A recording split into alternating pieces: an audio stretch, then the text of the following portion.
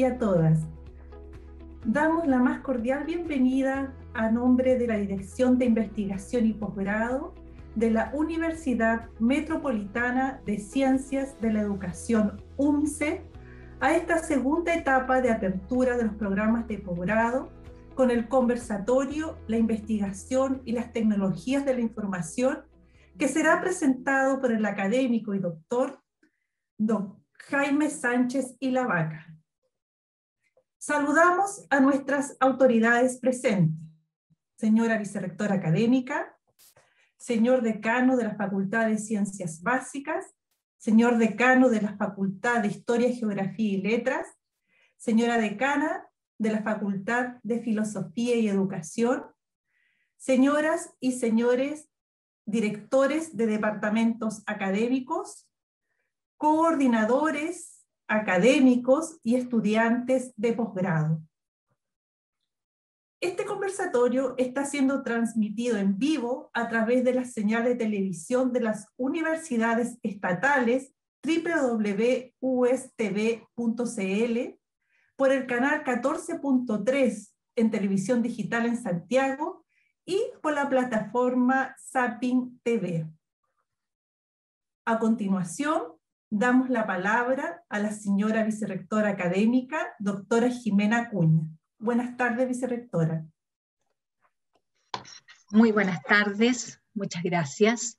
Autoridades, decanos, decanas, académicos, académicas, estudiantes. Un saludo muy cordial hoy día a todas las personas que han acudido a esta invitación y especialmente un saludo a nuestro invitado, al connotado doctor Jaime Sánchez, que nos acompaña en este conversatorio que se desarrolla hoy en el marco del inicio del año académico de, nuestro, de nuestros programas de posgrado. Eh, él es un connotado académico, ¿no es cierto?, que se ha destacado en el área de la educación y de la tecnología y sabemos hoy que él es un académico del Departamento de Ciencias de la Computación, de la Facultad de Ciencias Físicas y Matemáticas y también de la Facultad de Ciencias Sociales de la Universidad de Chile, así como también es un investigador del Centro de Investigación Avanzada de Educación en la, misma Universidad de Chile. Pues bien, justamente este tema que nos convoca, su tema de especialidad que nos convoca hoy día más relevante que nunca. En esta situación hoy día sanitaria de pandemia mundial que nos ha puesto en un escenario que nunca habíamos vivido antes, donde mucho se ha resaltado, mucho hemos hablado de la situación de incertidumbre, de las dificultades que esto ha traído con el encierro, ¿no es cierto?, con estas cuarentenas, en los temas de salud mental, de agobio. E igualmente, mucho hemos hablado de las dificultades que todo este tema ha traído a la educación, las dificultades que nos han, se nos han impuesto de pronto, de un día para otro, en relación a los procesos de docencia que hemos tenido que asumir en línea, ¿no es cierto?, sin embargo, a pesar de todas las dificultades, yo he pensado bastante y me he puesto a pensar mucho qué hubiera sido de nosotros, de toda esta situación, si no contásemos con todas las herramientas que hoy día tenemos. Porque una situación de pandemia no es, no es la primera que vive la humanidad, sin embargo, hoy estamos contando con herramientas que efectivamente nos han permitido mantener contactos sociales nos han permitido tener estas interacciones, interacciones sociales, familiares y otras académicas como esta.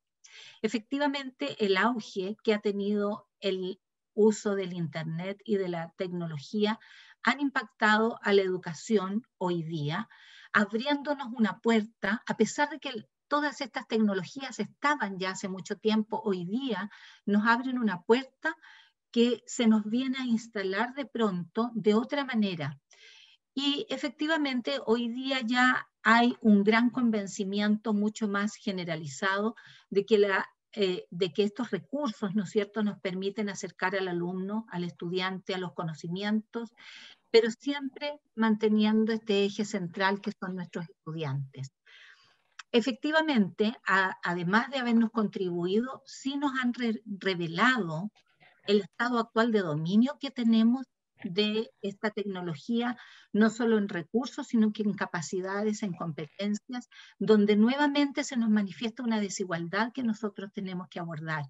Y esa desigualdad no solo se ha visto en el sistema escolar, sino que también en el ámbito universitario. Nosotros tenemos que entender y ya hemos entendido que las tecnologías han entrado en el campo de la educación, que llegaron para quedarse, pero, una herramienta, pero no como una herramienta que sustituye al docente, sino que la idea es que la acojamos como esta herramienta que nos va a permitir mejorar, contribuir a los procesos de aprendizaje y de, esta mirada poder tener una oportunidad para mejorar los procesos pedagógicos. Es una manera de acercarnos también desde la investigación a la construcción de conocimiento, a la disponibilización de la información, sin olvidar, ¿no es cierto?, que siempre está la persona que aprende al centro de todo este proceso, la persona que genera conocimiento, que construye conocimiento, siempre va a estar al centro. Es en este ámbito donde nosotros estamos hoy día demandados a avanzar y a dar respuestas, a dar respuestas que nos incluyan a todos, no solo a algunos grupos. Por esta razón es que hemos querido hoy relevar la importancia del uso, del desarrollo de la tecnología en este ámbito, en la investigación, en la educación, entendiendo que se nos está proponiendo como una herramienta que no nos debe separar, sino que al contrario nos está generando oportunidades para todos y por lo tanto, en definitiva, es una herramienta que tiene que permitirnos una mayor inclusión. Así que esperamos que este encuentro sea productivo para todos, para todas y nuevamente agradecer la presencia del doctor Sánchez que hoy nos acompaña y nos eh, colabora y comparte su experticia con todos nosotros. Muchas gracias. A continuación, daremos inicio al conversatorio La investigación y las tecnologías de la información, dándole las gracias a la vicerrectora por sus palabras. Para ello, eh, para eh, presentar al invitado, queremos pedirle al profesor Pablo Corbalán que nos dé eh, algunas reseñas del invitado. Muchas gracias, Jimena. Muchas gracias, vicerrectora. ¿Se escucha? Sí, se escucha bien. Perfecto. Es para mí un honor ¿ah? eh, presentar al doctor Jaime Sánchez Ilavaca, profesor e investigador, como lo dijo la vicerrectora, del Departamento de Ciencias de la Computación en la Facultad de Ciencias Físicas y Matemáticas de la Universidad de Chile. Es profesor de Biología y Ciencias Naturales de la Pontificia Universidad Católica de Chile. El profesor Sánchez además es magíster en Ciencias y es doctor en Educación, ambos grados obtenidos en la Universidad de Columbia en Nueva York. Algunas de sus publicaciones más relevantes son O&M Individual Environments for People Who Are Blind, The Systematic Literature Review del año 2020, artículo aparecido en ACM Transactions on Accessible Computing, esta publicación en coautoría con otros investigadores. Durante el año 2019, eh, el profesor publicó, también junto a otros autores, Design and Evaluation of Mobile Sensing Technologies for Identifying Medicines by People with Visual Disabilities, esto apareció en International Journal of Pervasive Computing and Communications. El mismo año publica O&M Virtual Environments for Training of People with Visual Impairment, aparecido en Lecture Notes in Computer Science. En la misma publicación, el mismo año, publica junto a otros autores Principles for ev evaluating usability in multimodal games for people who are blind. También el mismo año publica Quali-Quantitative Review of the Use of Multimodal Interfaces for Cognitive Enhancement in People Who Are Blind en la publicación Lecture Notes in Computer Science. Dejamos con ustedes al profesor Sánchez y la vaca. Es, perfecto. Eh, quiero agradecer a Beatriz, a Jimena, Pablo, todo el equipo de Beatriz, ahí la Dirección de Investigación de la UNCE, que se ha portado un 7 conmigo eh, y, me han apoyado, me han ayudado, orientado y eh, hemos resuelto algunos temas, etc. agradecer a todos, a todos, a todas esas personas y a otras personas y eh, quiero decir que a mí, para mí es un agrado, un placer. Eh, estoy mirando aquí en el chat y están apareciendo eh, amigos de muchos años, Juan, Claudio y, una serie de otros profesores que, que trabajamos juntos un tiempo en, en tecnología y educación, en convenio entre la UNICEF Chile y la UNCE. Eh, entonces, para mí, eh, eh la UNCE eh, es un ambiente familiar ¿ah? y, y, muy agradable. ¿ah? si bien es cierto, yo trabajo en dos lugares, en tres lugares en la universidad, trabajo en, en, ciencia de la computación, trabajo en educación, en el magíster en informática educativa y trabajo en el CIAE, en investigación en tecnologías y aprendizaje y enseñanza. Eh, eh, si bien es cierto eso, eh, nosotros tenemos mucha interacción con, con, diversos centros y por distintos proyectos. Eh, yo siempre he estado relacionado con, con, con, la universidad, con la UNCE. De hecho, ahora me recuerdo que por allá por los años 90, casi de haber sido 96, 97, 98, por ahí, yo trabajé en, el, en los magísteres que tiene que, en, educación que tiene la UNCE eh, eh, em, y que en ese tiempo eh, dirigía Viola Soto. Entonces, eso como inicio para decirle que, que, yo me siento en confianza con ustedes y, quiero agradecer la presencia de todos los participantes, alumnos, profesores, investigadores, alumnas, profesoras. para mí es un agrado hacer esta presentación. Quiero, quiero indicarles al principio que yo voy a hablar de varias cosas. Y la idea es que eh, de todas esas cosas podamos eh, al final hacer un análisis de, de, algunas ideas. Yo no puedo hablar, por ejemplo, de investigación, si acaso eh, no hablo acerca de ciertas cosas que son relevantes en, en, en, en informática educativa. Entonces voy a hablar de eso, voy a matizar y después entonces hablaré sobre temas de investigación, de formación docente, de TICS, y todo actualizado eh, al momento que estamos viviendo, y también a, eh, em, eh, planteándose de una manera crítica, ¿ya? Em, para, que, para generar cierto el análisis, la discusión, la conversación, etc. Entonces, dicho, dicho eso, voy a...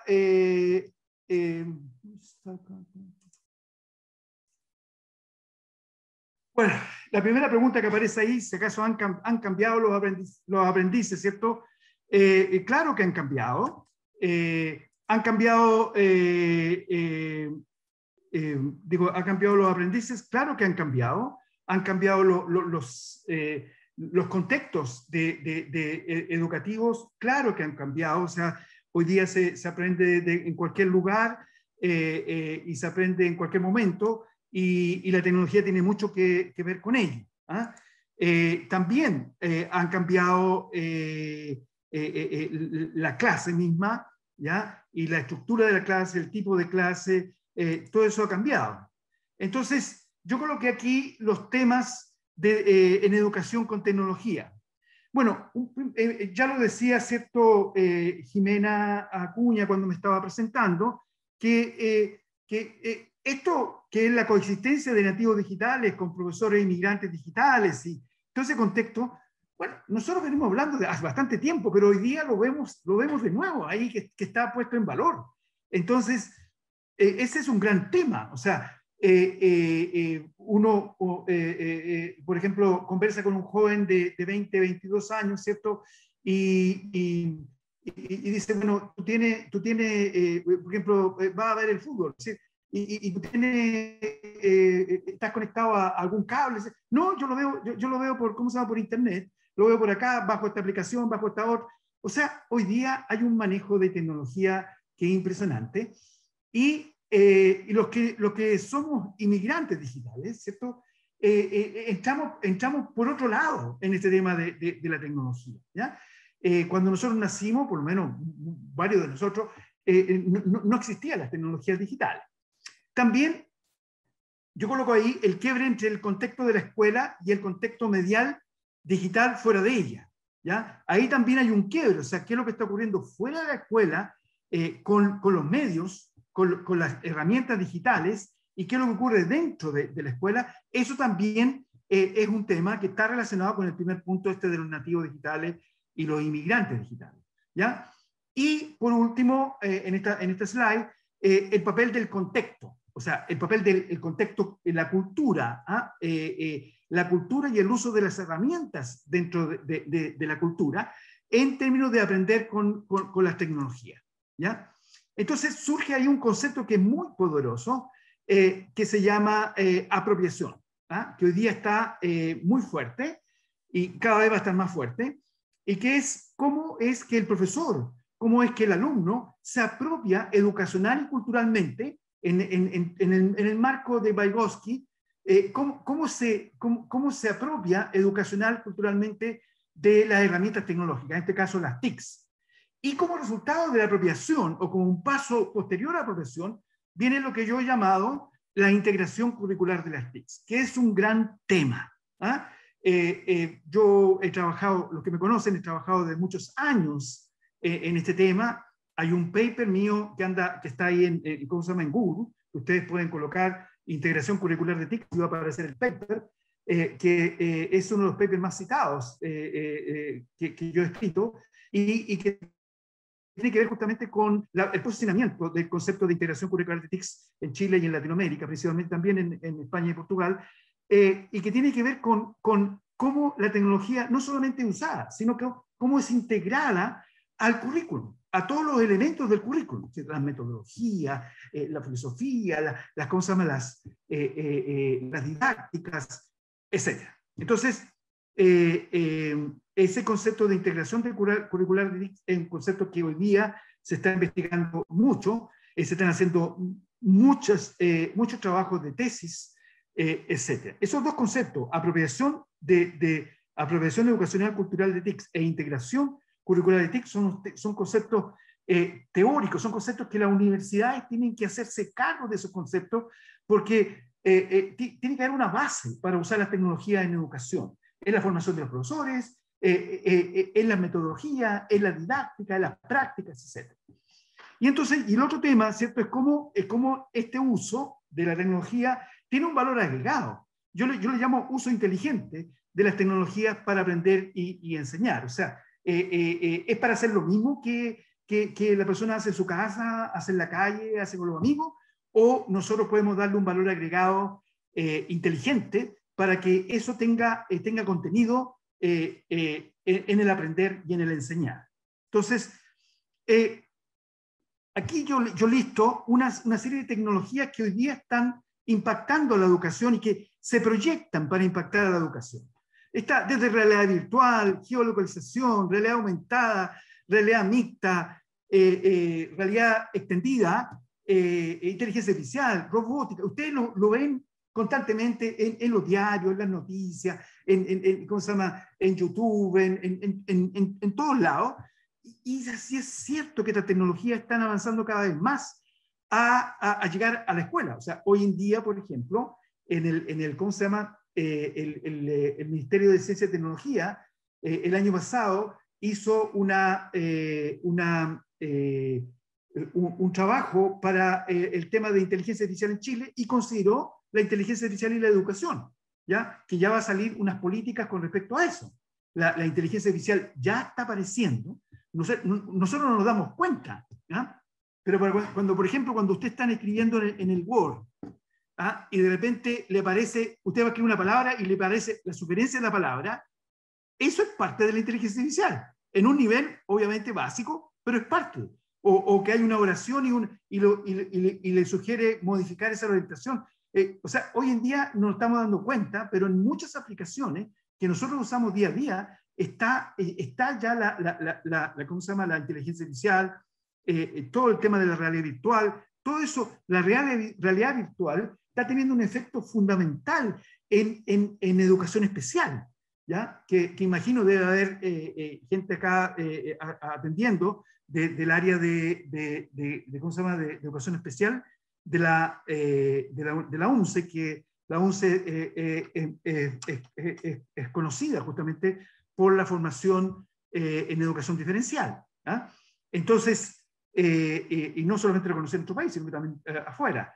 Entonces, el tema del uso de herramientas de realidad virtual para rehabilitar personas que tienen discapacidades, personas con discapacidad, es un tema increíble. ¿ah? hay una serie de tecnologías que uno puede usar para hacer rehabilitación. Eh, eh, eh, años atrás nosotros trabajamos con Teletón y, para rehabilitar, por ejemplo, al Teletón, al Teletón van personas que, que viven en, regiones, que viven en la ruralidad. Entonces es complicado ir, ir a, los centros de Teletón para hacer, para hacer trabajo de rehabilitación que, que si, si ellos tienen unas aplicaciones digitales, eh, pertinente, pueden hacerlo de su casa y pueden ahorrarse la mitad o más de la mitad de, eh, de los viajes que tienen que hacer para rehabilitarse. Estoy dando un solo caso. ¿ah? Y, eso, y, en educación también, en, por ejemplo, en, para sordos, para ciegos, eh, en educación hay una serie de aplicaciones de, de, realidad, virtual, de realidad mixta, etc. ¿ah? La, la, la, la inteligencia artificial ya hablé, la robótica. Este es un temazo hoy día lo que se llama cierto Big Data y, en nuestro caso se llama Learning Analytics, que es el uso de los datos para eh, analizar la información. Es un tema que está muy fuerte hoy día en, eh, en todos lados y en educación también.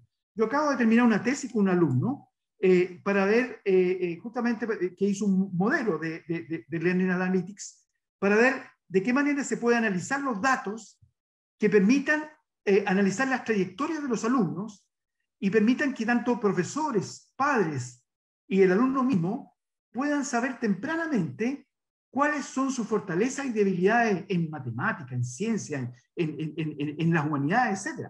Y, con eso poder adelantarse a, poder adelantarse a eh, eh, los resultados que hoy día se tienen. Por ejemplo, eh, ¿cuánto se demora la, el, la, ¿cómo se llama? el CIMSE en dar en, evaluar los resultados. Es más o menos cuatro años. O sea, evalúa cuatro años para atrás, no cuatro años para adelante. Entonces, en cuatro años pueden ocurrir muchas cosas. Si uno, si uno tiene este tipo de herramientas, eh, yo le aviso, con este tipo de herramientas de Learning Analytics, eh, eh, es muy probable que mediciones como el SIM se van a desaparecer en el tiempo. Porque esto se puede hacer y se puede tener la información inmediata. No que el director del colegio tenga la, información después de que han pasado cuatro años.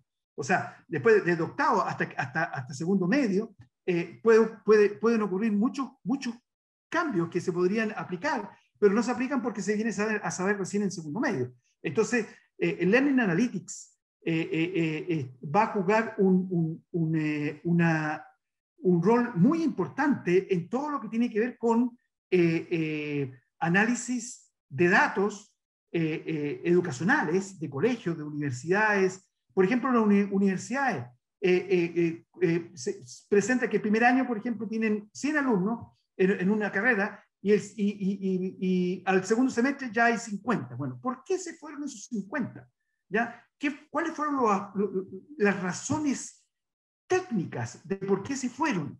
¿Ya? ¿Cuál es la proyección? O sea, ¿puede ese alumno que falló, puede que ese alumno ser eh, reincorporado y, acompañado para, para, poder seguir eh, en la universidad de manera exitosa, Learning Analytics es la respuesta. Ahí va a estar toda la información, ya está. Eh, después puedo comentar con respecto a eso en, ejemplos que hemos, que hemos dado. Ya hay municipalidades en Chile que están trabajando con empresas de Learning Analytics para ver trayectorias de aprendizaje de los alumnos y no solamente alumnos de tercero y cuarto medio, no, desde primero base. Bueno, entonces ahí hay varias eh, tecnologías, también las tecnologías tipo, tipo Uber, que también están, muy, están, muy, están siendo aplicadas en, en, en, ¿cómo se llama?, en educación también. ¿ah? Que son tecnologías ¿cierto? Que, que, están en demanda y que se adaptan de acuerdo a, a ciertos parámetros. ¿ah? eso. Entonces, para, para continuar, ¿cómo se llama?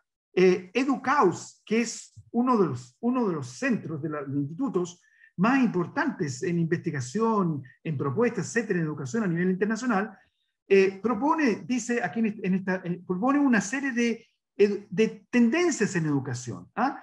eh, que, que, se pueden, claro, si ustedes cuando tengan la presentación en mano, yo, yo se la le voy a dejar la presentación a los organizadores, lo, lo pueden ver con más detalle, pero ahí aparecen las mismas tecnologías que acabo de mencionar. ¿ah?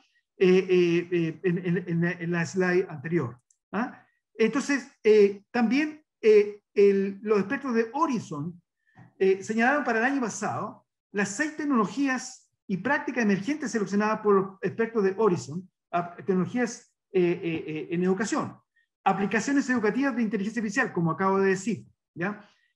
recursos educativos abiertos. ¿ah? estos se llaman OER, ¿ya? que son eh, eh, eh, recursos de, de, dominio público, ¿ah? que, pueden, que pueden ser accesibles por cualquiera. ¿ah? tecnología de aprendizaje adaptativo, o sea, cómo las tecnologías pueden ayudar a que el aprendizaje se adapte al tipo de alumno, al modelo mental del alumno, ¿ah? a, la conducta del alumno, a, a, su, a, su forma de, enfrentar el aprendizaje, a su forma de enfrentar la enseñanza, etc. Hay tecnología hoy día que están apareciendo y se llaman tecnología de aprendizaje adaptativo. ¿ya? Y aquí está el cuarto punto del que yo les decía a ustedes. Análisis del éxito del, estudiante. Eso es lo que es learning, eh, es, eh, ahí se aplica el learning analytics, ¿ah? eh, la analítica, o sea, analizar datos que hoy día, por ejemplo, los sistemas universitarios, los sistemas escolares, los sistemas de, educación primaria y secundaria tienen muchos datos, pero la gente no, los trabaja, no los trabaja los datos, o sea, no, no hace análisis, o sea, no usa esos datos, esa información no la usa para tomar decisiones inteligentes, y eso es lo que la tecnología está permitiendo. Hay una serie de otras tecnologías, ¿ya?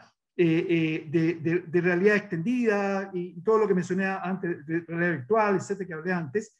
Eh, también elevación del diseño instruccional, ingeniería de aprendizaje y diseño de, de, eh, de, de, experiencia de usuario en, en pedagogía. O sea, eh, seis tecnologías que, que van a tener un impacto, dice para 2020, pero, pero ellos hacen impacto, lo hacen en, en un año extendido a cinco, incluso hasta diez años muchas veces. aquí hay otra, otra, las aplicaciones de esa tecnología, mobile learning, uno a uno, eh, aprendizaje uno a uno, eh, technology enhanced learning, eh, aprendizaje inteligente, videojuego, etcétera, etcétera, etcétera. Tenemos acá que en el año 2015, Universia, que es el consorcio de universidades, ¿cierto? que varias de las universidades chilenas están ahí, señalan que, que señalan estas, estas cinco aplicaciones en educación. Bueno, este Bring Your Own Device, que en el fondo quiere decir que independientemente el equipamiento que tiene cada, cada alumno, eh, eh, el alumno puede llegar a la clase con su celular, puede llegar con, con una tablet, puede llegar con un, con, un, con un, notebook o puede tener un computador de escritorio y eh, va a ver lo mismo, van a ver lo mismo entre ellos, ¿ah? porque, porque las tecnologías pueden, pueden integrarse de manera que es independiente del, del, del tipo de, de, dispositivo que tiene el, el, aprendiz eh, eh, eh, en, el aula. Se conoce mucho, ¿cierto? La, la, la, clase invertida, la flipped classroom. hay otro que se llama los makers, space, maker, acuérdense, los makers son hacedores, constructores, constructores de prototipos, ¿ah? constructores, constructores de, artefactos, ¿ya? Y eso, eh, están apareciendo una serie de tecnologías que ayudan a, ese desarrollo y eso tiene mucho que ver con el, con el design thinking. ¿ah? También tecnologías adaptativas que acabo de decir antes, Internet de las Cosas, etc. ¿ya? No los quiero llenar de esto, pero, pero para, para que quede claro que hay una serie, hay un abanico de tecnologías que han aparecido y que siguen apareciendo, algunas se van quedando y, otras siguen manteniéndose, algunas se van perdiendo y otras siguen manteniéndose. Entonces, ahora, ¿qué, qué es lo que se sabe de, de las TICs? Bueno, las TICs por sí mismas tienen un impacto poco escalable y sustentable sobre el aprendizaje en las, las escuelas. O sea, eh, las TIC por sí solas no, no logran un impacto. Eso. ¿ah? O sea, eh, eh, tiene, que, tiene que ver con, con la forma como se usa la tecnología, el objetivo para el cual se usa la tecnología, etc. O sea, una escuela, un liceo, una universidad, no solo por tener tecnología quiere decir que, que está haciendo un, un, un, uso escalable y sustentable en el aprendizaje. Eh, sino que tiene que haber una integración curricular, tiene que haber una apropiación de las TICs, etc. Entonces, no todas las metodologías que existen son aplicables al uso de la tecnología. ¿ya? las metodologías activas, constructivas, son las que mejor responden al uso de las TICs en la escuela. Mientras más constructivista es el profesor, mayor y más significativo es el uso de las TICs para fines de aprendizaje eh, y, pedagógicos. Yo aquí cuando me refiero a esto, eh, yo cuando doy esta información lo doy eh, eh, en base a lo que dice la literatura. ¿ah? No, no, da espacio aquí la presentación para colocar, para colocar las citas textuales, etcétera, pero, pero es, lo que, es lo que señala la, literatura. Nosotros tenemos que, en términos de interactividad y de conocimiento, ¿cierto? El mayor, la mayor interacción con la mayor interactividad con las tecnologías se logra, ¿cierto? Eh, cuando hay construcción y reconstrucción, o sea, cuando hay un, aprendizaje activo con las tecnologías. Eh, eh, también cuando aquí traducido ¿cierto? a las epistemologías de, ¿cómo se llama? Del, conocimiento, que, que, se bajan ¿cierto? A, métodos, modelos de aprendizaje, lo mismo, ¿cierto? cuando son más activas, ¿cierto? hay mayor actividad del aprendiz. Entonces, ¿qué sabemos sobre aprender con TICs? Bueno, el uso efectivo y pertinente de TIC tiende a ser, estar empotrado en un proceso de innovación y cambio en la educación. O sea, generalmente las tecnologías eh, eh, tienen, tienen algún efecto, alguna importancia, relevancia, cuando hay una innovación en el sistema donde, donde están eh, insertadas, ya sea una universidad, ya sea en, en, un sistema escolar, en una escuela, en un liceo, un colegio, etc. ¿ya? entonces, lo que digo acá es que no son asimiladas automáticamente por los profesores y, aprendices, sino que hay, necesita todo un proceso para tomar ventaja de ellas.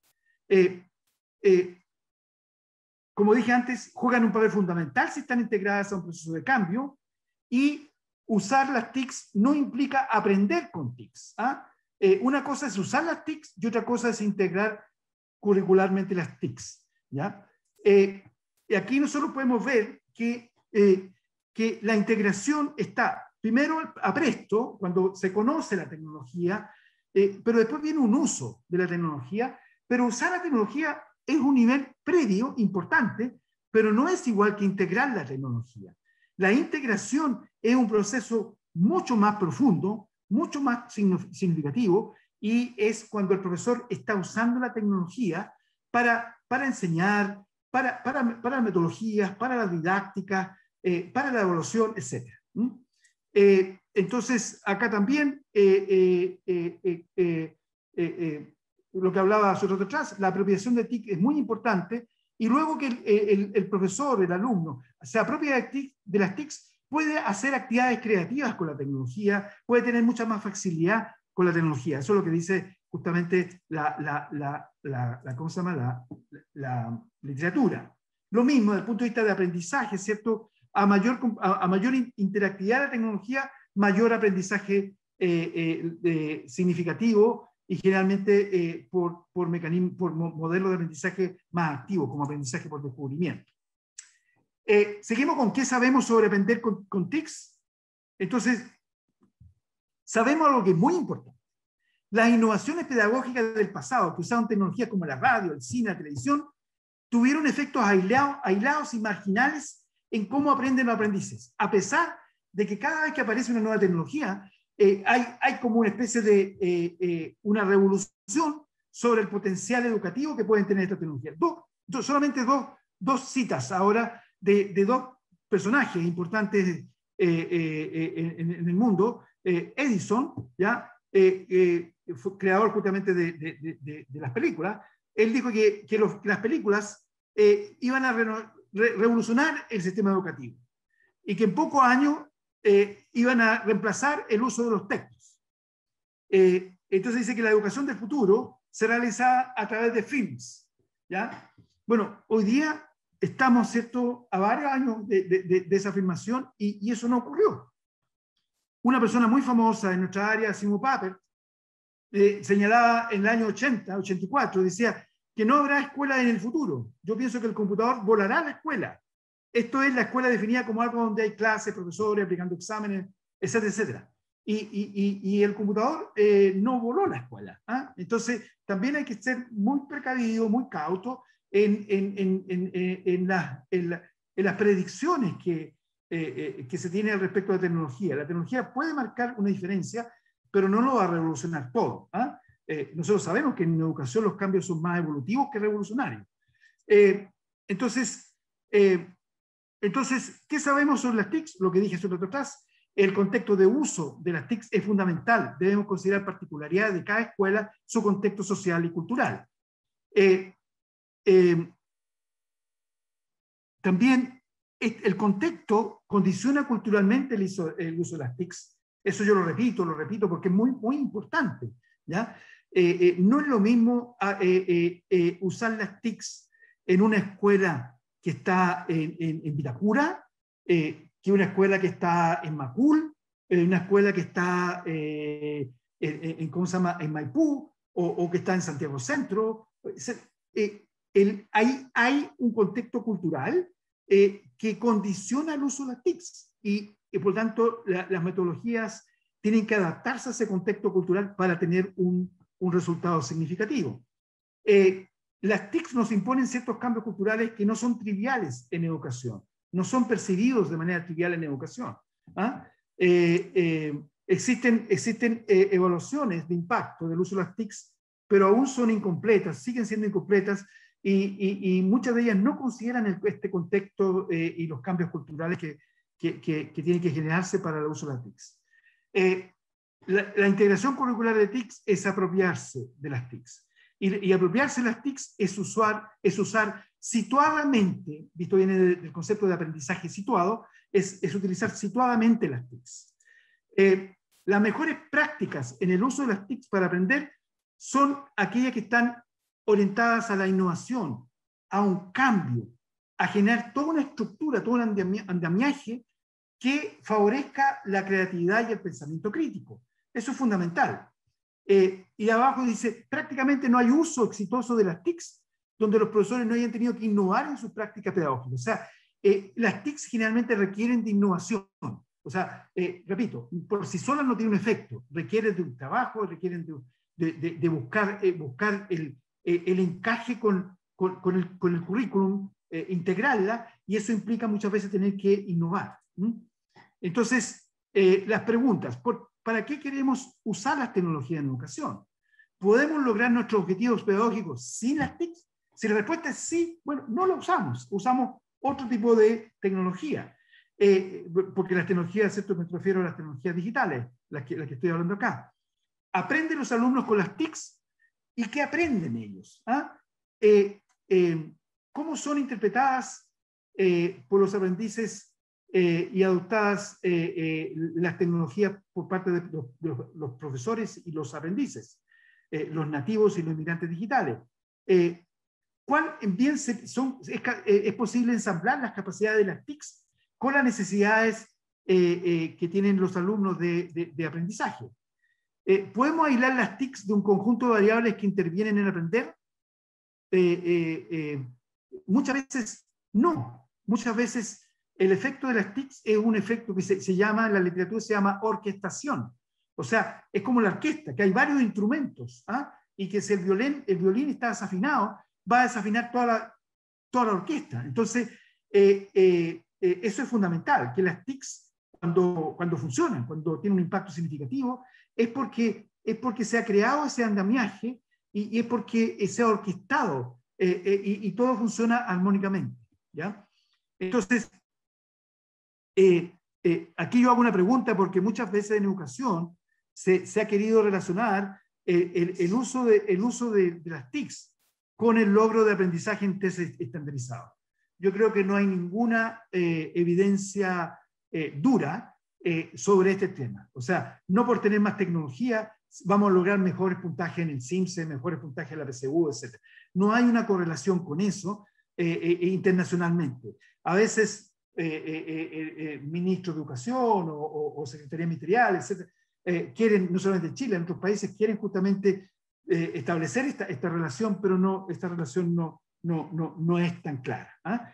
Eh, entonces, eh, eso es lo que mencionaba. Entonces, ¿pueden aprender los aprendices con las TICs? O, ¿O, no será que el aporte de las TICs al aprender es similar, es similar a, lo que, a lo que es la nutrición, como dice un autor, que provee el camión que transporta la leche al almacén de la esquina? O sea, es un transportador. ¿ah? no es, no es realmente eh, la parte fundamental, sino que transporta. El transporte es necesario porque llega al almacén, pero el transporte no me nutre. ¿ah? Eh, entonces, también la tecnología es, fundamental para, que, para, apoyar el aprender, para facilitar, etc. Pero, pero la tecnología no me permite aprender directamente. A eso se refiere ahí. Entonces, el contexto es parte del tema este, eh, el cambio debe ocurrir en la mente de todos, etc. ¿Ah? Déjeme ir un poquito más acá. Eh, eh, entonces lo importante, repito de nuevo ya, tercera vez, porque me gusta repetir para que quede, lo importante es la apropiación eh, de las TICs y la integración curricular de las TICs. Son dos conceptos muy importantes y muy académicos, muy, muy de investigación, muy de, de trabajo, en, en, en, sobre todo en la Universidad de Educación, Universidad Pedagógica, Educación, como, como, la, como la UNS. ¿ah? entonces, la pregunta es, ¿quién, quién es el que lleva, el, que tira el carro, digo yo ahí?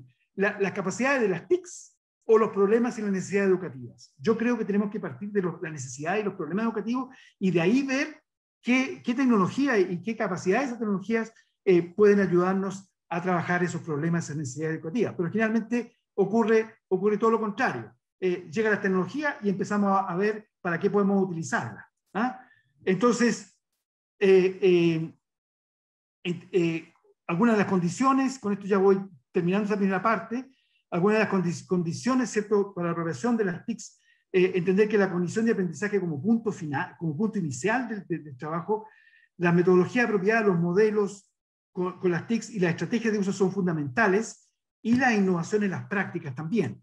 ¿ya?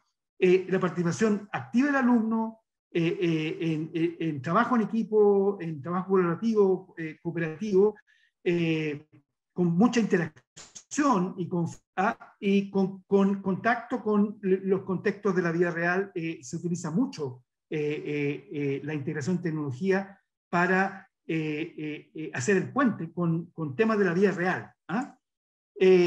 aquí factores fundamentales que menciona la literatura para un buen éxito en el uso de la tecnología, eh, que tiene que haber suficiente acceso a las TICs, eso es claro. Hoy en día tenemos eh, eh, mucho acceso porque, porque, porque estamos uno a uno con, con, con, las tecnologías de los alumnos, ¿cierto? Con, los, los, celulares.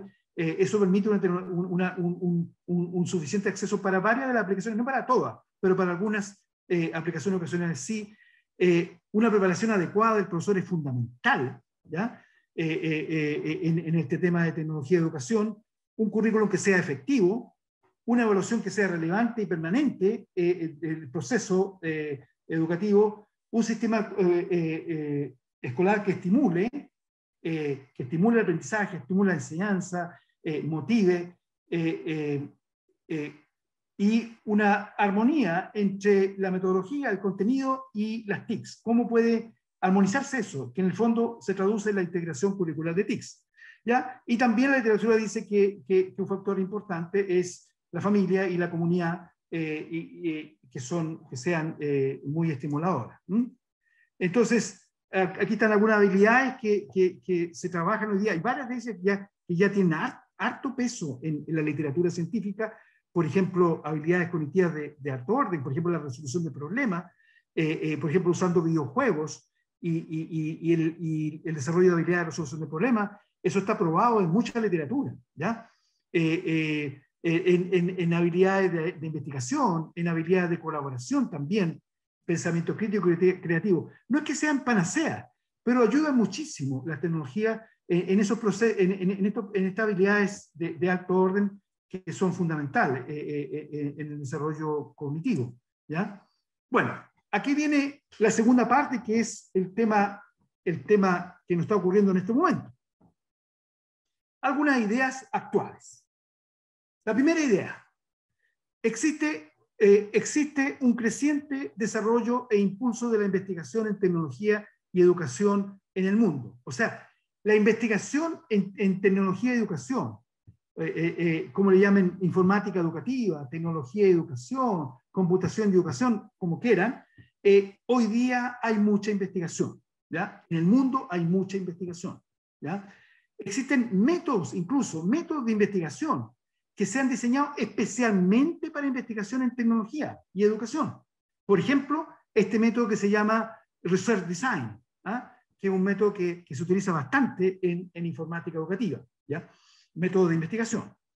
En nuestro país, un número menor de proyectos de investigación eh, eh, y tecnología, investigación, tecnología y educación, son aprobados por, por ANID, FONDECID, FONDEF, etc. O sea, si ustedes hacen análisis de cuántos proyectos de investigación se han aprobado los últimos cinco años, los últimos diez años, en, en, informática educativa, en tecnología de educación, etc., son muy pocos. ¿ah? Eh, esa es la realidad.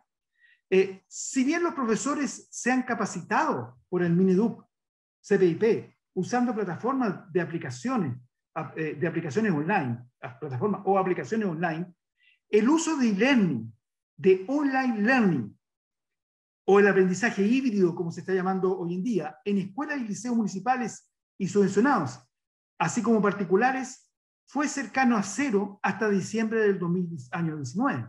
O sea, hasta diciembre del año 2019, eh, prácticamente eh, no, no, había online learning eh, eh, en, las escuelas, en los liceos y también en las universidades, sobre todo en las universidades públicas. las universidades privadas vienen usando de un tiempo, varias de ellas. Otra, otra, idea también que quiero levantar. El, Ministerio de Educación prácticamente eliminó el área de informática de sus principales áreas de desarrollo en los últimos cinco años, después de más de 20 años del masivo programa nacional de enlace. Ven ustedes cómo es, cómo es la vida. ¿ah? como son las dinámicas. Eh, el Ministerio de Educación nunca, nunca, iba, nunca iba a pensar que iba a haber una pandemia y que se iban a necesitar mucho el uso de tecnología y las metodologías y los modelos y, y, y, las estrategias y, etcétera. Eh, y, hoy en día eh, el Centro de, de, Educación y Tecnología se transformó hace, allá hace tres años, se transformó en un centro de innovación pero es eh, todo tipo de innovación. Tiene una pequeña parte que es con tecnología, pero, pero ya no existe. De, de hecho, de hecho, cuando, eh, ¿se acuerdan? Eh, hace unos dos años, la, ministra de Educación de la época quería saber si, si se podía censurar el uso de, los celulares en, los colegios, en las escuelas. no tenía a quién preguntar, del punto de vista de que antes había había, y aquí hay gente eh, que están aquí, eh, eh, personas de profesores que participaron en el enlace, antes había una estructura, había gente especializada, había un panel de expertos, etc. Entonces, eso, eso hoy día no existe. ¿ah? ¿Y por qué? Porque el ministerio pensó que era mejor transformar esa área de tecnología y educación en área de innovación. ¿ya? Eh, y, eso, eso yo encuentro que, que, ha sido bien complejo. Imagínense ahora, si, si, si, si Enlaces, por ejemplo, hubiera estado eh, activo hoy en día, el año pasado, se hubieran podido, tomar muchas decisiones de uso de tecnología en la escuela y liceo eh, que no se tomaron, ¿ah? porque en ese momento existía la plataforma, existía el contexto, existía el andamiaje de, de tecnología de educación. ¿Estoy siendo crítico? Sí, pero estoy levantando temas para poder discutir también porque, porque es importante estas cosas. Yo creo que más varios de ustedes eh, eh, eh, están de acuerdo con lo que yo estoy planteando.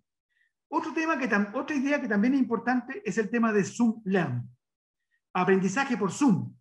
aprendizaje por Zoom no es online learning, no es, no fue, no es y probablemente no va a ser. ¿ya? ¿Por qué? Porque, porque el, el, el, el, Zoom es una aplicación desarrollada para empresas para que, para que diseñen e implementen reuniones. No, el Zoom no es una herramienta para apoyar el aprendizaje y la enseñanza a nivel escolar y a nivel universitario. Entonces, eh, y después yo le, voy a, le voy a dar la prueba eh, eh, con respecto a eso, con un trabajo académico científico.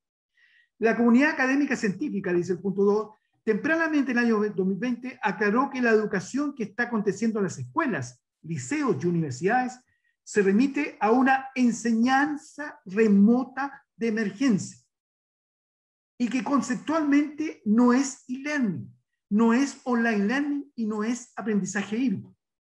Aquí está el paper, de, el paper que, yo los invito a que ustedes lo lean, ¿ah? lo pueden buscar, aquí, arriba está, el, arriba está el, puntero, así cuando yo le entregue, eh, el, ¿cómo se llama? Ahora que termina la, la, la, charla, le voy a entregar eh, eh, todo el contenido de la charla para que puedan eh, leer ese paper que yo creo que los que no lo han leído es muy importante. Y, el paper dice, eh, la diferencia, fue, tiene marzo 27 del 2020, y dice, la diferencia entre eh, enseñanza remota de emergencia y online learning. Hay mucha diferencia. ¿Por qué?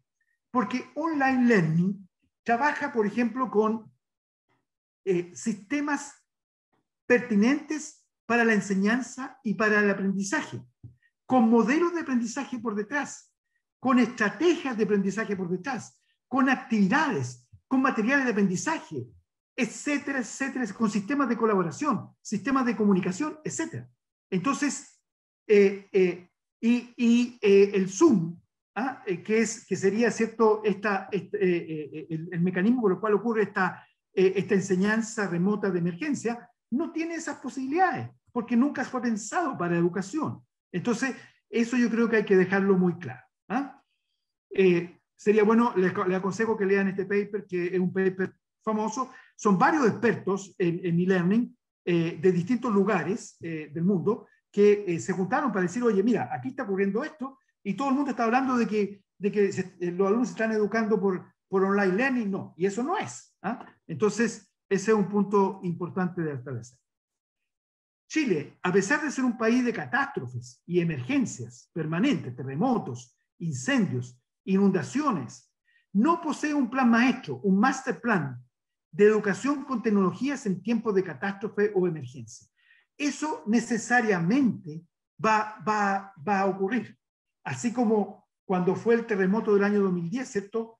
Se eh, quedó, quedó en evidencia que los sensores que marítimos que tenía Chile estaban desfasados, bueno, eh, ahora que va a quedar en evidencia que Chile no tenía un plan maestro de educación con tecnologías en tiempos de catástrofe de emergencia. Y ustedes dicen, ¿y otros países tienen? Claro que tienen. Por ejemplo, eh, me tocó ver, eh, hace un tiempo atrás me tocó, por, el, por, el, Banco Interamericano de Desarrollo, que eh, me solicitó hacer una comparación entre informática educativa de Chile y Corea del Sur. Y yo encontré que Corea del Sur tenía un plan especial de uso de tecnología. Cuando llovía mucho, el alumno podía seguir sus clases en la casa. Cuando había inundaciones también. Cuando había cualquier catástrofe, había alternativas tanto para los profesores como para los alumnos, ¿ah? de uso de tecnología para apoyar el aprendizaje y el alumno después de una semana volvía a clase y se adaptaba sin ningún problema. ¿ya? Eso hoy día es, es un debe, es un, eh, eh, está a grito hacer esto, que, que debiera tener, eh, porque nosotros hoy día es pandemia, pero quién sabe si el próximo año va a ser incendio o, el siguiente va a ser un, terremoto, qué sé yo. Entonces, tenemos que estar preparados y las tecnologías nos pueden ayudar a ello, ¿ah? sobre todo en el área de educación. Prácticamente se aprueban muy pocas investigaciones en, aprendizaje en línea por parte de organismos financiadores públicos de investigación a nivel nacional. Eh, entonces, eso ya lo había dicho antes también, de otra manera, eh, hay poca investigación hoy día en eh, online learning. Y eso es, es una invitación también para los profesores y los investigadores de la UNCE, para que puedan, que puedan trabajar y iniciarse en esta área. Va a haber mucha necesidad de personas que, que, que, que se formen en esto. Eh, sería interesante que se especialicen, que vayan a trabajar a otros países. Por ejemplo, Brasil tiene una tremenda experiencia en online learning. Una, no hay, yo creo que no hay universidad en Brasil que no tenga un centro, pero un centro, no, no un centrito, un centro ¿ah? de, de, aprendizaje a distancia, de, educación a distancia. Eh, la, mayoría de las universidades públicas y privadas tienen centros de educación a distancia activos en pregrado y, en posgrado, ¿ya? Entonces, eh, ese es otro punto importante. Ahora, ¿qué, qué, qué, ¿qué, podemos decir como consecuencia de lo que yo dije antes? Bueno, existe una escasa investigación en tecnología y educación a nivel nacional. Existe una baja productividad científica como resultado de la investigación en tecnología y educación a nivel nacional. Si ustedes hacen una búsqueda, busquen papers de educación en tecnología eh, y van a ver que en revistas, en revistas científicas indexadas, indizadas, como, como pueden ser cierto, eh, eh, revistas de, de, web, of Science o, revistas Scopus, existen muy pocos papers científicos chilenos en, esas revistas indexadas eh, eh, y también en conferencias, en congresos indexados, eh, indizados, publicaciones en, en, ¿cómo se llama? en tecnología de educación en Chile. Entonces, hay una necesidad. Obviamente que la productividad científica depende de la investigación, o sea, el 2 depende del 1 ahí. Y eso, y eso es importante. Entonces, tenemos que generar nuevas líneas de investigación en educación online, en e-learning, en b-learning, en, en, ¿cómo, se, ¿cómo se llama? en, Em, aprendizaje a distancia con, con tecnología, ¿ah? Eh, eh, aprendizaje híbrido que se está llamando hoy día. Todo eso, el, concepto de moda hoy día es aprendizaje híbrido, que es lo que antes se llamaba e-learning.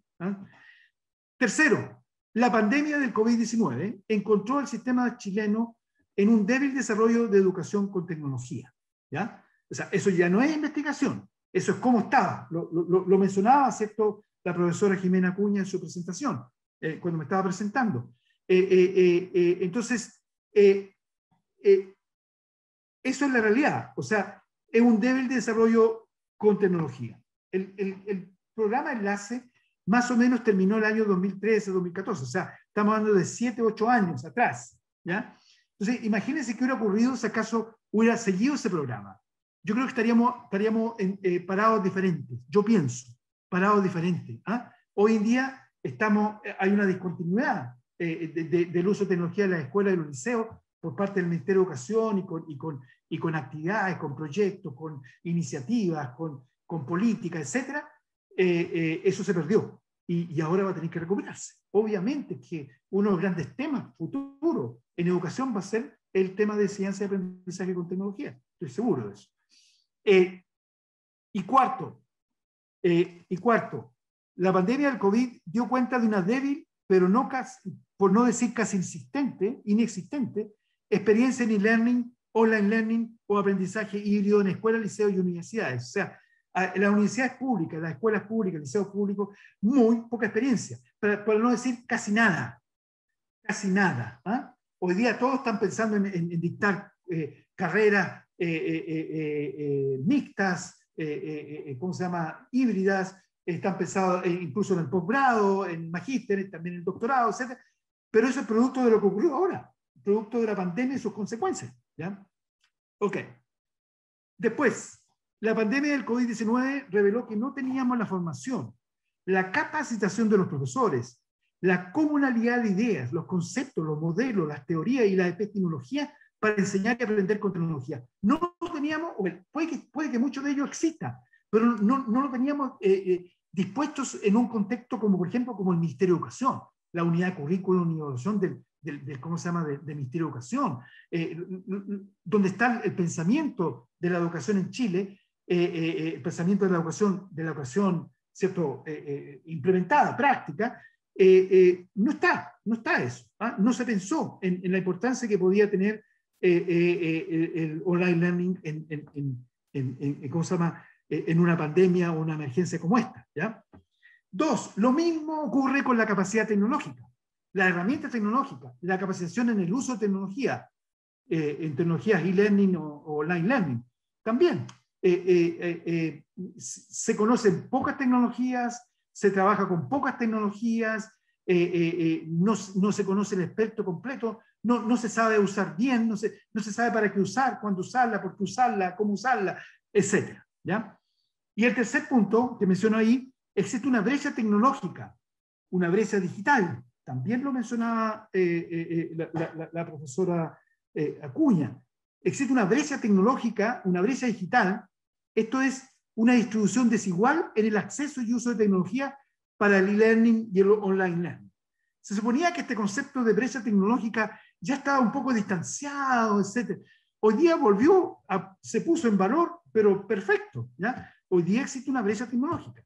¿ya? Una distribución desigual en el acceso y uso de tecnología para e-learning y para eh, eh, online learning.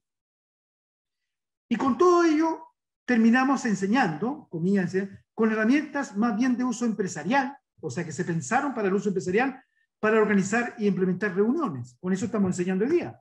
El Meet, eh, eh ¿cómo se llama? Eh, la aplicación Meet, eh, aplicación Zoom, etc. ¿ah?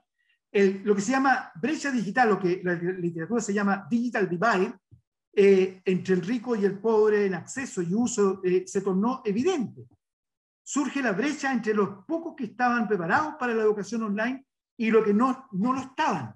Entonces surge el e-learning divide, o el online learning divide o el, o, el hybrid learning divide. Esa es cosecha mía, esa es mi sugerencia mía, pero, pero es lo que está existiendo. ¿ah? Eh, eh, hay, hay, hoy día en, en, en e-learning hay, un, hay, un, hay una brecha eh, tecnológica importante y que hay que enfrentarla.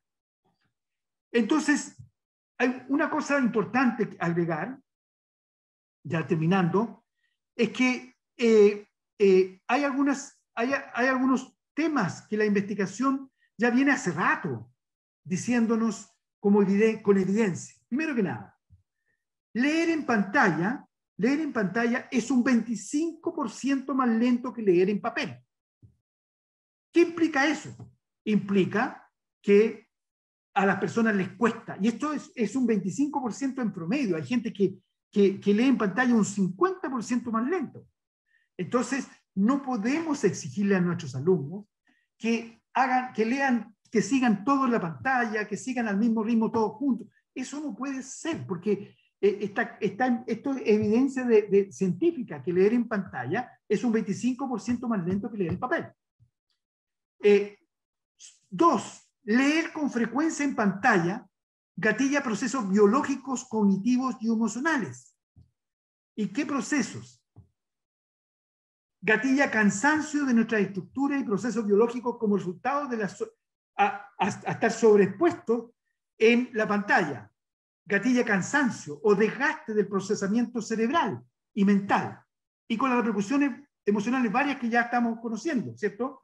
Eh, eh, como el estrés, la angustia, la baja concentración, la irritabilidad, etc. Entonces, ahí hay un punto muy importante. O sea, no podemos pedirle a los alumnos que, eh, que lean todo el tiempo, eh, cuando estamos haciendo clase, que lean todo el tiempo la pantalla. No podemos porque hay un cansancio.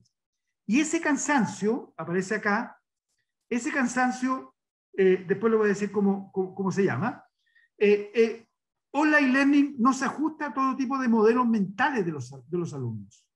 ¿ya? Eso también es una evidencia que viene de tiempo. O sea, hay alumnos que no se adaptan nunca al, al aprendizaje a distancia, a la enseñanza a distancia. Eso lo dice la literatura, ¿ya? Por su estilo de aprendizaje. De hecho, no sé si a ustedes les ha pasado, a mí me ha pasado alumnos que han llegado y dicen, profesor, congelé el año porque yo no quiero aprender de esa manera. No puedo aprender de esa, manera. A mí, eh, eh, eh, mamá, mamá o amigas que son mamás de mí me preguntan, oye Jaime, mi alumno quiere congelarla, mi, hijo quiere congelarla, la, la, universidad, ¿qué opinas tú? Perfecto, le digo. ¿sí? Él se da cuenta que no es su método de aprendizaje. Entonces, eh, eso hay que tenerlo en consideración. ¿ah? El online learning no se ajusta a todo tipo de modelos mentales de los aprendices. Dos, históricamente online learning ha tenido un alto número de alumnos que desertan. ¿Ya? Cuando nosotros trabajamos en enlace, y enlace hacía por allá por los años 2000, 2004, 2004, 2005, por, eso, por ese tiempo, comenzó la, la, capacitación que, que, hacíamos nosotros y, también el CPIP en línea. Y teníamos que, de los cursos que nosotros dictábamos, había una, una, una deserción de alrededor del, del 40 y hasta el 50%. ¿ya? Ahora, distinto es cuando la persona está en un, un, en programa, por ejemplo, en un programa de, de, magíster, que está motivado porque ese programa magíster le va a permitir ascender en su, trabajo o le va a permitir, eh, eh, ¿cómo se llama?, eh, tener, postular después para un doctorado, o cuando la gente tiene esa motivación, claro que, que no hay deserción. Pero, pero en general, lo que dicen los estudios en general, es que el online learning tiene un, alto número de, de deserción y, y, con todas sus dinámicas, los, los MOOC, ¿ya? Eh, que son, que son eh, eh, una variante ¿cierto? De, del online learning, los MOOC que se llaman, ¿ah? utilizan de referencia el video, ¿ya? El videos en, en clases. ¿ah? Y tiene una alta, nosotros hicimos el año pasado, escribimos un artículo, un capítulo, un libro eh, eh, en Estados Unidos, eh, donde eh, hicimos un análisis de, del, uso de MOOCs en Latinoamérica, y, y, justamente encontramos que varios de ellos mencionan la alta deserción de los alumnos que toman cursos MOOCs. Entonces, esto, eso hay que considerarlo. O sea, la mortalidad de alumnos en online learning es alta, ¿ah? es alta. Entonces, hay un importante número de aprendices eh, eh, que definitivamente no se ajustan al online learning, lo que, lo que decía anteriormente. Eh, los profesores, esto, esto, esto para terminar ya con respecto a la forma, las implicancias para la formación docente. ¿ya? Los profesores tienen que ser formados en el uso transparente de tecnologías para enseñar y aprender. Eso es, eso es fundamental. Hoy día eh, no se consigue un profesor que no está siendo formado para, eh, con el uso transparente de tecnología. No, no que esté enseñando a, a, a, ¿cómo se llama? utilizar una tecnología y que se centre en eso, no. Pero que se, se use en, en, la apropiación de la tecnología. Se, que se formen para apropiarse de la tecnología, para integrar eh, curricularmente las tecnologías. Dos, los alumnos de pedagogía usan las tecnologías cotidianamente. Eso está claro. Los alumnos que ingresan este año, que ingresaron el pasado, usan la tecnología. Entonces, lo que se requiere es que, es que se apropien culturalmente de las herramientas para que luego las puedan integrar curricularmente al currículum. Y eso, eso es trabajo, es trabajo que tiene que hacer el profesor, ¿ah? en su disciplina, ¿ya? Eh, eh, eso es fundamental. Eh, la integración curricular es fundamental. otro, otro, otra sugerencia para la formación docente es que los profesores y los alumnos de pedagogía necesitan estar preparados para usar tecnología para enseñar y aprender en tiempos de emergencia.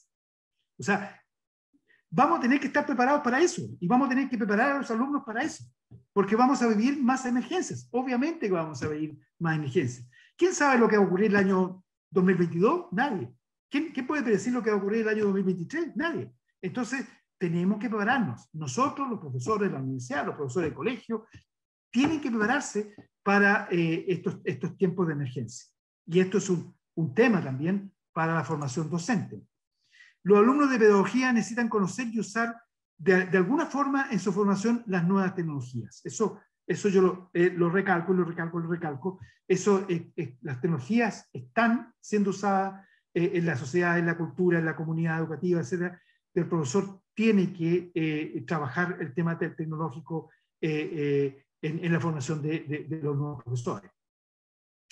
Y e-learning, online learning o aprendizaje híbrido, será parte del abanico de opciones metodológicas de enseñanza y aprendizaje, tanto en las escuelas como en los liceos, como en las universidades.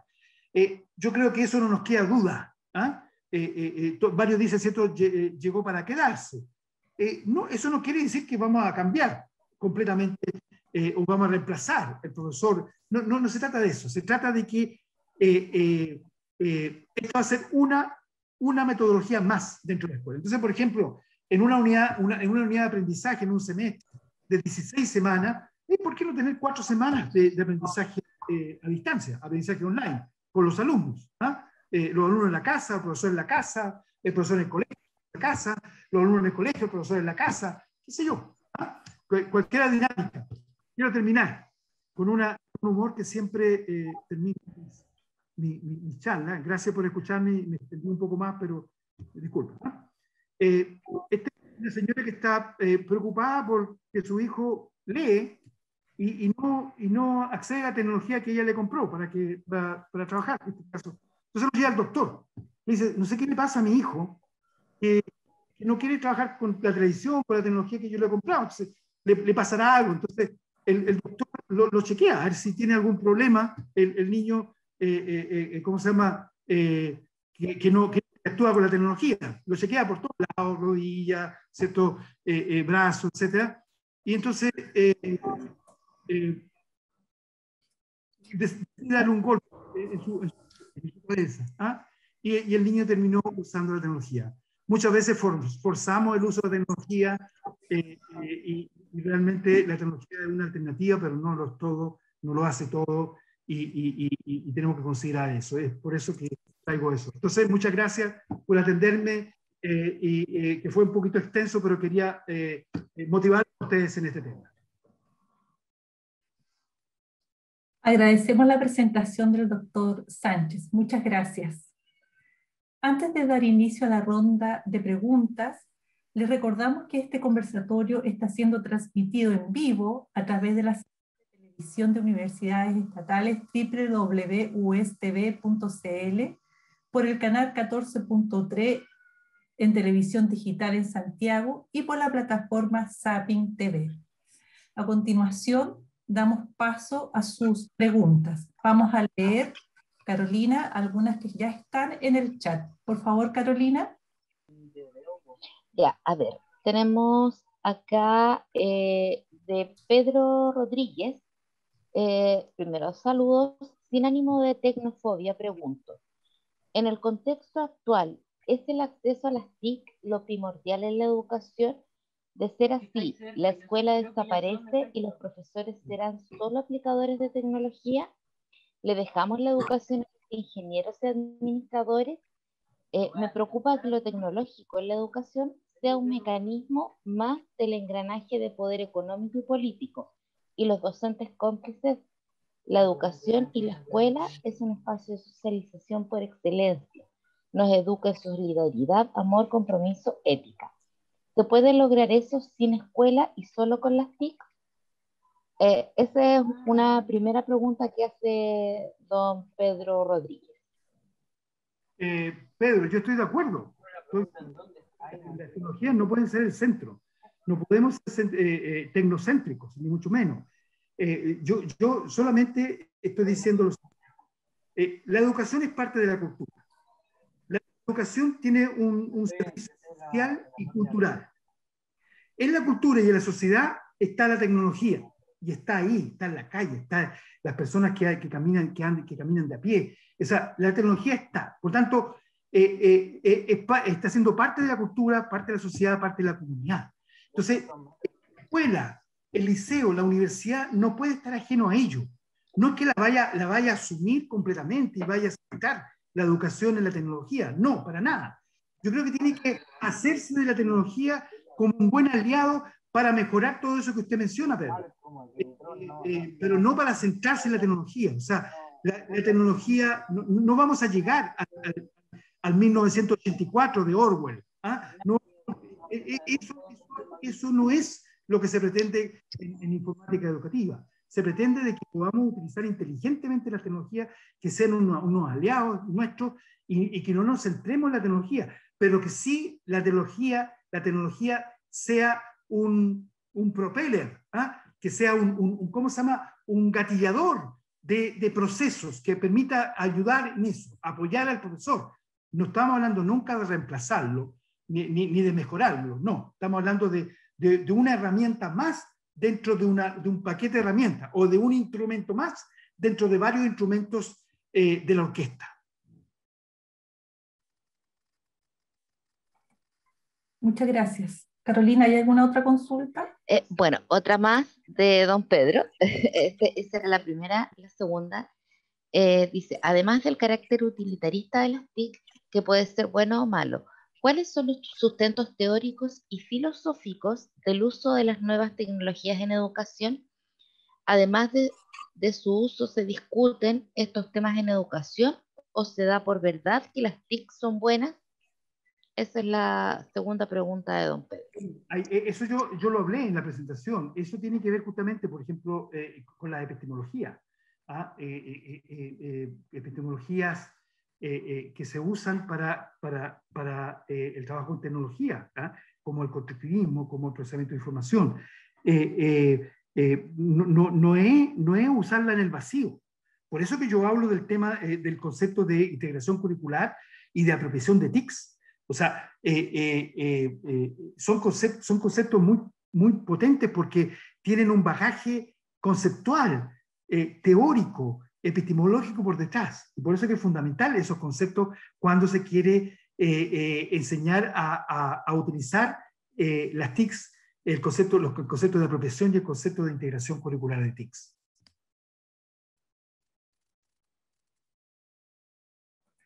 Gracias, profesor. ¿Alguna otra consulta, Carolina? Eh, hay un eh, que es entre consulta y comentario de don Carlos Hernández. Dice, en el 2009 presentamos en el Congreso Internacional de Informática Educativa, dice, los resultados de una investigación que titulamos Medición de la actitud al uso del computador e Internet en estudiantes de enseñanza media en Santiago de Chile. Mostramos allí, como resultado de un estudio de campo amplio y representativo que sí hay una actitud positiva al uso del computador e Internet. Ya en esa época no era una limitación. Lo anterior fue fortalecido con estudios posteriores de la autoeficacia y norma subjetiva. Por lo anterior, no es una limitación de origen psicológico el uso e incorporación o integración de esta herramienta a la educación. Hoy se disponen de otras herramientas más potentes, algunas de las cuales usted ha mencionado en esta charla y la integración de las TICs en educación sigue siendo baja y los niveles de logro del uso de estas y en los aprendizajes siguen siendo bajos. ¿Cuál es, en su opinión, el nudo, limitación? Gracias. Eso es lo que pregunta don Carlos Hernández. Yo creo que eh, eh, el nudo está eh, eh, eh, es, multi, multicausal, no es un solo, un solo nudo. ¿ah? hay, obviamente hay, hay una, una, mirada así como sospechosa al, usar tecnología, cosa más, para el aprendizaje, las facultades de educación no tienen eh, eh, grandes áreas de, informática educativa. Repito, esto cambió muchísimo estos últimos años, desde que se, desde que se cerró, el, que terminó el proyecto eh, el, Enlace, el programa Enlace. entonces, este nudo es un nudo multicausal, ¿ya? tiene que ver con que también, que sacamos que tener, saber de profesión, saber de, saber de, integración curricular, si acaso no tenemos una variedad de, de tecnología eh, si acaso no, no, no, no, no, sabemos qué tecnología se está usando en la escuela. Eh, eh, muchas veces nosotros para, para, para trabajar eh, los temas de informática tenemos que ir a la escuela y a los liceos. ¿Qué, qué tecnología se está usando ahí? ¿Qué están haciendo con las tecnologías? Entonces, eso es fundamental. Entonces, yo creo que el, el, nudo tiene que ver con perder, perder, el temor, perder los miedos, eh, eh, en, tener más acceso a tecnología, también lo mencionaba en, en, una slide, ¿cierto? Eh, tener un currículum que, que, sea motivador e integración de esto, porque muchas veces, por ejemplo, trabajar con tecnología requiere tiempo. Entonces, el, currículum como está, no, no, deja tiempo para trabajar con tecnología muchas veces. Entonces, hay, hay, hay, hay una multicausalidad de, de, de, ese nudo, ¿ah? pero yo creo que ese nudo puede ser eh, des, eh, eh, desabrochado y, y, y, para, para, bien de quién, para bien, en el fondo, para, para bien de la enseñanza de nuestros aprendices, de, de, de, su aprendizaje, su experiencia de aprendizaje, su razonamiento, su, su, su, su pensamiento crítico, su, su resolución de problemas, etc. todos procesos cognitivos y también emocionales que, que son importantes en, en, su desarrollo en el futuro. Entonces, yo creo que, que, falta más trabajar esos temas y, y, tal vez a lo mejor así como antes esto nació del Ministerio de Educación para las universidades, a lo mejor puede ser que ahora sea, la, sea que, que, que, se gatillen, que, nazcan o que se, se, actualicen desde las universidades hacia el Ministerio de Educación. ¿ya? Entonces, yo creo que eh, todos tenemos que ayudar a, a desamarrar ese, ese, ese, nudo que está ahí y que, que, en algunos casos es un nudo que, eh, que es complejo y en otros casos eh, faltan ciertas decisiones para que eh, se desamarre. Gracias, profesor. Profesora Marcela. Hola, ¿qué tal? Jaime, buenas tardes. Eh, mira, tengo eh, una consulta, eh, a ver si nos ayudas un poco. Te voy a hacer memoria, en el año 2005 estuvo en Chile Nicolás Negroponte, seguramente tú, tú también estuviste con él, y él traía una experiencia de un computador, un niño, que tenía un sistema operativo Linux, ¿no es cierto? Y que además tenía batería, era una pantalla, o sea, una, un, laptop pequeño, ¿no es cierto? Con código abierto, que le permitía, digamos, a todos los niños de Chile, con, por 50 mil pesos, tener un computador, ¿no es cierto?, en su casa, y uno por familia, o sea, uno, uno por familia, sino que uno por niño, en una familia podían haber entre cuatro y cinco, ¿no es cierto? Y en el mismo año, meses después, vino eh, Bill Gates y, y el sistema, y, y, se tomó la decisión de que el sistema, ¿no es cierto?, en, la, en la, el Ministerio de Educación fuese a través de Microsoft y todos tuvimos los computadores, ¿no es cierto?, con el sistema operativo, ¿no es cierto?, de, de, de Microsoft. Entonces, eh, bueno, yo, creo, yo sé que muchos hicimos muchas cartas, ¿no es cierto?, y dijimos muchas cosas, pero no hubo voluntad política. Entonces mi pregunta va por ahí, ¿de qué manera crees tú que podemos orientar, digamos, a los tomadores de decisiones respecto de que se ajusten a los procesos de innovación, eh, sobre todo en educación, y, no lo consideren un negocio de la informática, ¿no es cierto? Eh, porque eh, ¿cómo tú ves eso, cómo ves tú que pudiésemos trabajar eso a propósito, ¿no es cierto?, hoy día de los cambios que estamos viviendo. Esa es, mi primera pregunta. Y la segunda es una, es una, una, pregunta que me surge a propósito, ¿no es cierto?, de, la, de que hoy día todos los estudiantes, ¿no es cierto?, que están en práctica profesional, que nunca han hecho clases en las escuelas, tienen que hacerlo por primera vez a través de una pantalla. Eh, ¿Cuáles serían tus indicaciones para incorporar, ¿no cierto?, apropiaciones curriculares en, en, en, sujetos que tienen su experiencia, ¿no es cierto?, de haber tenido clases y nunca haber hecho clases eh, mediadas por tecnología. Gracias. Uf, eh, Marcela, eh, eh preguntas, preguntas difíciles. El primer caso es, es, bien complejo porque pasa que Nicolás Negroponte quería que, eh, que, que eh, su computador, que se llamaba eh, XO, ¿ah? ellos tenían un proyecto que se llamaba OLPC, One Laptop Per Child, ¿ah? y tenían un computador especial, como tú decías, hecho por ellos. Y claro, la apuesta de ellos era que, que Chile entero se, se compraran esos equipos y etcétera. Y había, había un gasto ahí que era, que era bien mayor. Entonces, bueno, se entró en competencia. Ellos después no, tengo entendido que no aceptaron que fuera, porque se les dio la posibilidad de que pudiesen entrar para, un, para una comuna, para un, para un, un lugar más, más, Yo no tuve nada que ver con esas decisiones, pero, pero eh, se les dio la posibilidad de que entraran a, a una comunidad más, más pequeña, de escuela, etcétera, pero no. Eh, eh, eh, yo creo que Chile apostó bien en ese momento, porque hoy en día los únicos que tienen alguna experiencia eh, vigente con, con, ese, con ese equipamiento en Latinoamérica es Uruguay. ¿ya? Brasil no tiene, eh, y la mayoría de otros países que eh, ya, ya, dejaron de tener la, eh, esa experiencia. Y prácticamente el proyecto sigue, pero con aplicaciones en África. ¿ah? nada más. Era muy interesante. Yo estuve en, en OLPC en Estados Unidos, conocí bien, me parece excelente.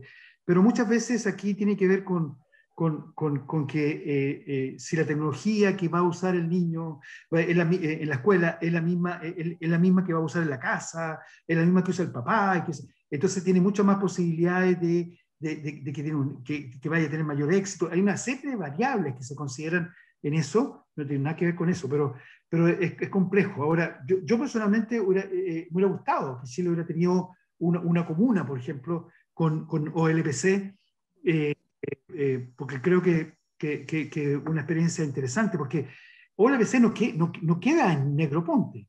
Eh, el autor intelectual de, de, ¿cómo se llama? del OLPC es Simo Papert. ¿ah? y, y, había todo un tema de, de, de, constructivismo, había todo un tema de construccionismo, etcétera, por detrás de ese proyecto. Entonces, estaba bien, bien, bien, bien arraigado eh, eh, eh, en términos conceptuales, en términos, en términos teóricos, etc. Y la, y la otra pregunta, que es difícil porque yo no lo, lo, deben estar pasando no muy bien los alumnos con estas prácticas docentes, ¿cómo se llama?, a distancia. ¿ya? yo tuve el semestre pasado una alumna de magíster que tuvo que hacer aplicación testing, testing eh, online. Y fue muy complicado, muy complicado. Por ejemplo, las mismas pruebas que se aplican persona a persona, las mismas observaciones que, que, se, que se, hacen persona con equipo, persona, persona a persona con equipo, etc. Eh, eh, hacer, hacerlas a distancia, hacerlas con, con, Zoom, etcétera, es sumamente complicado. Lo que recomendaría en esos casos es que traten, que no se olviden de que lo importante es la enseñanza para lograr un aprendizaje no se centren en, en, la tecnología Zoom, en que esto, en que no se ve la imagen, que no se ve la cara, que, que, que, todo eso lo pierde. Yo en este momento, eh, eh, eh, yo no veo a todo el público que me está, que me, está atendiendo. Entonces, pero me estoy centrando, me centré tanto que me pasé la hora.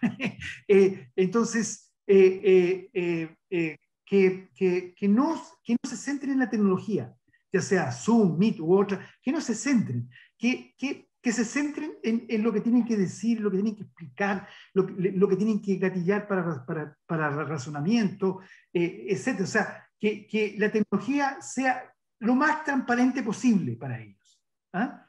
¿Ah? Para, para, que el aprendizaje sea visible. Es el título de, uno de mis libros que, que es aprendizaje, aprendizaje Visible, Tecnología Invisible. Gracias, gracias por todo, eh, gracias a todos, gracias Jimena. Con esto damos cerrada la ronda de preguntas y agradecemos al doctor Sánchez sus respuestas. Muchas gracias por habernos acompañado en estas jornadas y que tengan muy buenas tardes. Que estén bien.